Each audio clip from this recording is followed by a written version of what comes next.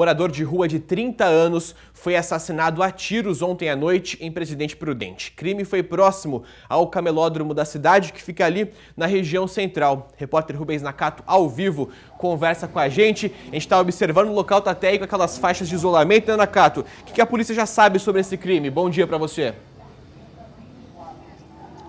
Bom dia, Casagrande, bom dia a todos. Olha, com certeza, a polícia isolou todo esse local aqui, isolado inclusive desde o início da madrugada, né? O Gilberto está mostrando ali, ó, são os colchões onde ficam ali os moradores de rua. E logo ali dá para ver, não sei se o pessoal consegue ver dali, mas há uma mancha de sangue ali onde é, esse morador de rua foi morto, estava caído ali quando os policiais chegaram, ele já estava sem vida. Bom, Casagrande, respondendo a sua pergunta, a polícia acredita e há uma possibilidade disso ter sido uma execução, viu? Por quê? Aqui no local foram encontradas cinco cápsulas de um revólver, uma pistola calibre .40, que é de uso restrito e exclusivo da Polícia Militar.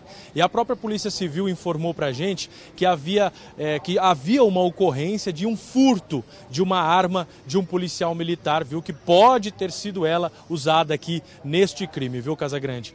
É, o morador de rua, aparentemente, quando a polícia, a perícia chegou aqui, identificou ali que ele tinha sido alvejado com quatro tiros, aparentemente, dois no peito, dois no pescoço e mais um na face, viu? Olha, esse morador de rua é de 30 anos de idade. Como você já adiantou também, pode ter envolvimento aí, relação com o uso de drogas. A gente sabe, essa daqui é uma parte que fica anexa ao camelódromo. O pessoal é, reclama bastante aqui desse pessoal que fica utilizando essa parte aqui, os moradores de rua, que utilizam essa parte aqui durante a noite, dormem aqui. Enfim, a polícia está investigando ainda, a nossa produção falou na DIG. Há equipes aí em diligências aí atrás de possíveis suspeitos, porque quando a polícia chegou aqui ao local também, segundo o que foi registrado no boletim de ocorrência, não havia aqui nenhuma testemunha que pudesse dar pistas aqui dos é, dos suspeitos aí por este crime, viu, Casagrande? A gente continua acompanhando essas investigações.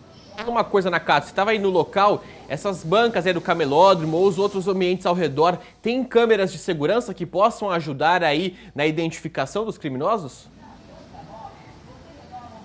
Olha, Casa Grande, pelo menos aqui nessa parte onde a gente está, há câmeras de segurança um pouco mais para frente aqui. O Gilberto acho que não vai conseguir mostrar ali agora, mas a gente sabe que no camelódromo, mais lá para frente, do lado da Avenida Brasil, tem câmeras de segurança sim que com certeza aí vão auxiliar a polícia nessas investigações, viu? Nakato, obrigado aí pelas suas informações. A gente volta ainda hoje, caso você tenha alguma atualização sobre o caso, ou trazemos eh, novidades na segunda edição do nosso SBT Interior. Bom dia para você e um bom trabalho.